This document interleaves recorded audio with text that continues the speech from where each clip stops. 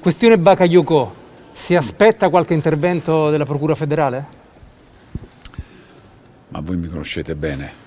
cioè io l'argomento giustizia sportiva, fatemi tutte le domande che volete, sapete benissimo che non posso dire nulla perché qualsiasi parola dico adesso è strumentalizzata si figuri se io vado a dire cosa deve fare la Procura federale, eccetera. Sinceramente di questi episodi ne facciamo volentieri a meno, ma non è un discorso riguardo diciamo, in particolare quel giocatore, quello stadio e quella tifoseria, in assoluto,